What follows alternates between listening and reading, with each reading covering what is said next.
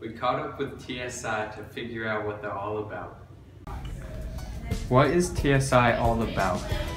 Um, TSI is about students improving their computer or yeah their computer skills and learning career pathways for the future, as well as improving customer service skills as we encounter people on a day-to-day basis. TSI is also about learning what it's like to be in a professional workplace environment and you know developing the idea of what it means to be a professional and to deal with people in a professional manner.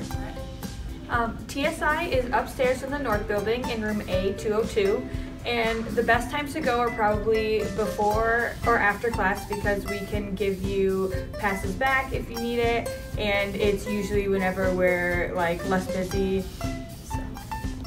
TSI is a class that's meant to allow students to learn how to work in customer service and fix Chromebooks and work in IT, and at the same time to give students and teachers a place to get issues on their Chromebooks fixed. There you have it, Lo. If you have any problems with your Chromebooks, TSI can help you out.